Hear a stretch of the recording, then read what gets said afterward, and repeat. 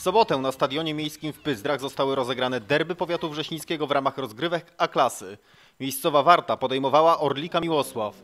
Obie drużyny interesowały tylko trzy punkty. Ja nie ukrywam, że no dzisiejszy mecz znając tutaj środowisko, ja tutaj w tej drużynie jestem od dwóch, od dwóch, trzech miesięcy. Wiem, że to jest mecz derbowy, ważny dla jednej i drugiej drużyny. No zobaczymy, co się dzisiaj y, wydarzy na boisku. Jako trener nie mogę nic innego powiedzieć jak tak, jest faworytem, jesteśmy dobrze przygotowani, dobrze zmotywowani, tym bardziej na kluby, które są tak naprawdę z zamiedzy, y, 100% przygotowania, y, zaangażowania i mobi- mobilizacji. Tutaj innego wyniku jak trzy punkty i zwycięstwo nie przewiduję. Od początku stroną dominującą była Warta. Przewagę udokumentowała bramką Bartłomieja Sotkiewicza w dziewiątej minucie.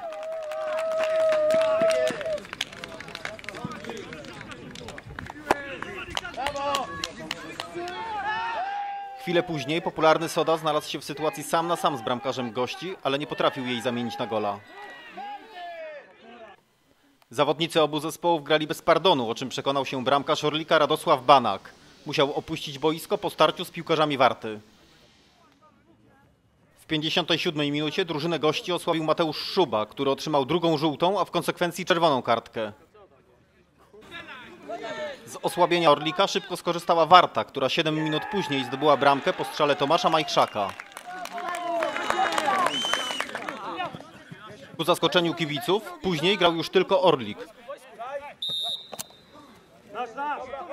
Dwie bramki zdobył Michał Ptasznik, który w 80 i 85 minucie wykorzystał kuriozalne błędy obrony i bramkarza. Mecz ostatecznie zakończył się podziałem punktów.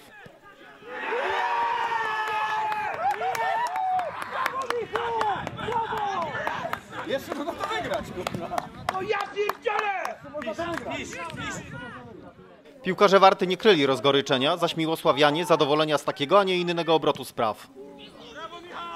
Co się stało? No to już od paru meczy tak się dzieje. Mamy sporo sytuacji, nie strzelamy, potem na koniec meczu się to mści. W Kleczewie było to samo, z, Brzeźnie, no, większość meczy tak zawalamy. Nie, Nieskuteczność po prostu? Nieskuteczność i chyba brak siły w końcówce sprawia, że, no, że tracimy punkty kolejne. Nie?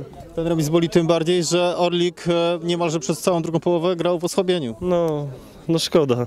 Sytuację mamy na 3-0, nie wykorzystujemy, potem strzelają z niczego bramkę, no i, i w sumie po błędzie bramkarza i, i tak tracimy punkt. Że przez 80 minut Orlik e, nie grał nic wielkiego, a od e, 80 minuty nagle e, nabrał sił. To to przewrotne, bo przecież graliście w osłabieniu.